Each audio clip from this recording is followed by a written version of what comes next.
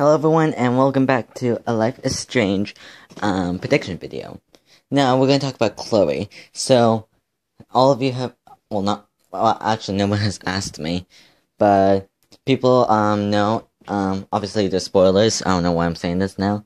So obviously um, uh, we, we know what episode, episode 5 is going to be like. We obviously know that Mrs. Jefferson will obviously be there. But let me talk about one thing about Chloe. Is she can she be still alive? And you might say no because she got shot in the forehead, but there's a possibility that she is alive by a good reason. Now, if you remember, while um they were going to the Vortex, um Chloe and Max, while they were going to the Vortex party, ugh, goddamn it, plane, and while they were going to the Vortex party, Warren stopped them, and then he was drunk and he wanted to take a picture with them, and so he did, but so they took a picture, and Ma- and if you didn't know, well, obviously you have to know.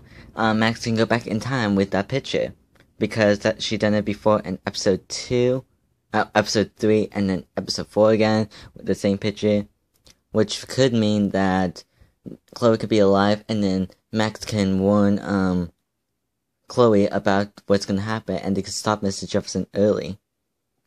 That is one. Uh, that's one thing I thought of, but but there's a catch. There's a catch.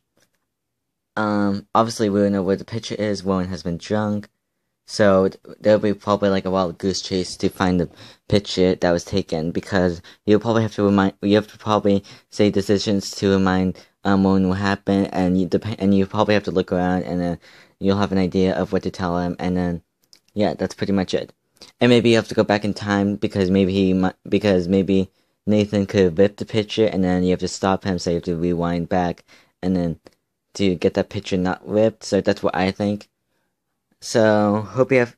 So I hope you enjoyed this theory.